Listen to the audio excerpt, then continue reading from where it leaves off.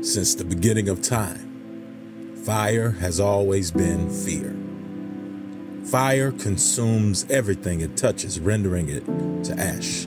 But the Bible says that those who are in Christ will be refined in the fire just as gold is.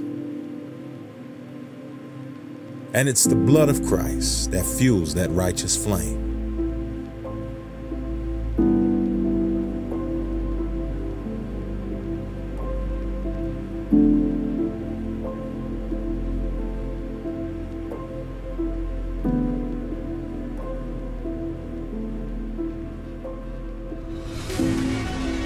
Forged in the fire, Jesus takes us, molds us into his image. You see, it is the fire that gives life to what was once dead. It is the fire that gives light for the world to see.